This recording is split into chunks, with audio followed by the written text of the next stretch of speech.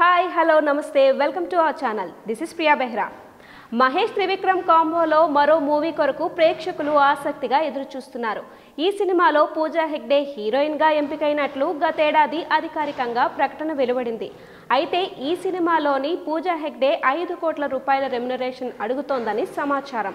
ఈ మొత్తంలో పూజా హెగ్డే పారితోషికం నాలుగు కోట్ల రూపాయలు అని పూజా హెగ్డే పర్సనల్ స్టాఫ్ ఖర్చులు కోటి రూపాయలు అని బోగొట్ట.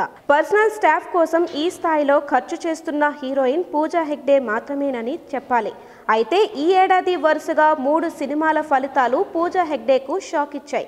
ఎఫ్ త్రీ బ్లాక్ బస్టర్ హిట్గా నిలిచిన ఈ సినిమా సక్సెస్ క్రెడిట్ మాత్రం పూజా హెగ్డేకు దక్కలేదు. పూజా హెగ్డే ఈ స్థాయిలో డిమాండ్ చేస్తే ఆమెకు ఆఫర్లు తగ్గడానికి అవకాశం అయితే ఉంది. తెలుగులో దాదాపుగా అందరూ స్టార్ హీరోలకు పూజా హెగ్డే జోడీగా నటించారు.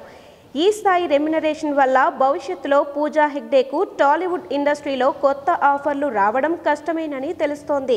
దీపం ఉండగానే ఇల్లు చక్కబెట్టుకోవాలనే సామెతను పూజా హెగ్డే ఫాలో అవుతున్నారనే సంగతి తెలిసిందే. పూజా హెగ్డే ప్రస్తుతం బాలీవుడ్ ప్రాజెక్టులతో బిజీ అవుతున్నారు. తమిళంలో కూడా పూజా హెగ్డే నటించిన సినిమాలలో ఎక్కువ సినిమాలు ఆశించిన ఫలితాన్ని అందుకోవడం లేదు.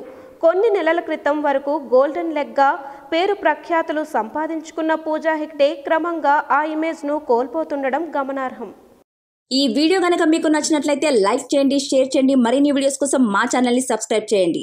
మీ అభిప్రాయాలు మాకు కామెంట్స్ రూపంలో చెప్పండి. మరిన్ని వీడియోస్ కోసం మా ఛానల్ని సబ్స్క్రైబ్ చేయండి.